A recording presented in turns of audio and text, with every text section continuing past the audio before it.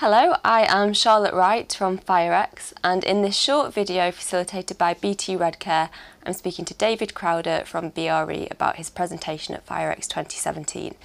David, I believe you're speaking about the Lakanal house fire. Could you start off by just giving me a brief overview of what that was? Uh, certainly, Charlotte. The Lakanal house fire was a tragic incident that occurred on the 3rd of July 2009. Uh, it involved a large block of flats uh, in southeast London and tragically resulted in the deaths of six of the residents of that block. Uh, it's had uh, major repercussions. It's been a major investigation, and I hate to add a, a major part of my working life since it occurred.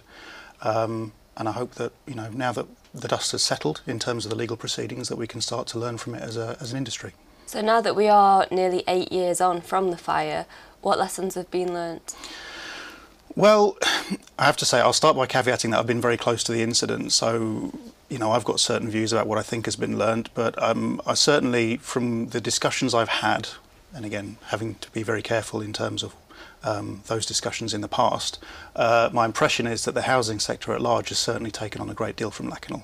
Attitudes have changed dramatically. There's been an increased focus on the need of good fire safety in housing and ensuring that, that occupants in housing are, are well protected from fire um, which is a great thing. And with that, within that, there are all the components of fire safety that I've been looking at in, in closer detail, things like fire doors, fire stopping, cavity barriers, and those are all the sort of the components that bring together the, the fire safety package in any housing development.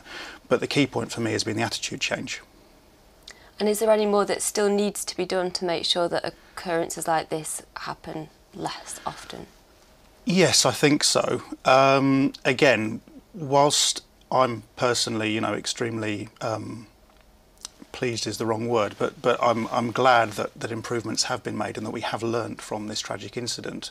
Um, the the risk for me is that we are talking about an attitude change, and there is always the risk that corporate amnesia will set in, people will move on, and we'll start to forget about the lessons that were learned during Lakanal. If attitudes start to start to relax, then there is a danger that that old habits could creep back in. And what are the biggest challenges with fire safety in housing specifically? The challenges in, in residential um, properties, I'm afraid to say that the challenges tend to stem from the occupants of, that, of, those buildings. That's, that's not a bad thing, that's not a criticism of the occupants. But you are ultimately doing your best, or housing providers are doing their best as, as professional organisations to deal with people who are ultimately within their own homes, they are entitled to have their own space and to want to run that space in the way they see fit. And so there's always a tension between the housing provider trying to deal with its duties the, under the law and those homeowners who reasonably want you know, a peaceful way of life in the way that they want to run their own affairs. And what are you talking about at FireX? So at FireX, I will be talking about the, the fire safety prosecution, which finally came to a close in the early part of this year um, with the fines imposed. Uh, what I would like to do, and what I plan to do, is recap the the findings that came out of the inquest that I had discussed at previous FireX events, um, and then go through some of the work that, that led to ultimately the charges that were brought by the London Fire and Emergency Planning Authority uh, against Southwark and, and how that came to be and, and the outcome from the trial.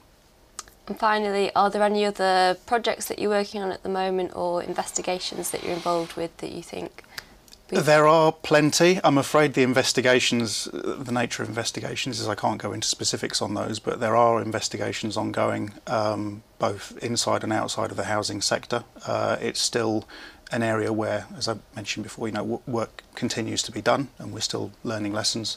Um, in terms of the research, uh, yes, there is a, a, number of areas of research that are taking place. I know that we've recently published work in relation to uh, the external performance of uh, facades on, on blocks, including blocks of flats, looking at spandrel panels, uh, as well as research looking at soffit boards and indeed cable runs in buildings where these have caused issues for firefighters, um, where cables have dropped down during the course of fires and, and caused entanglements.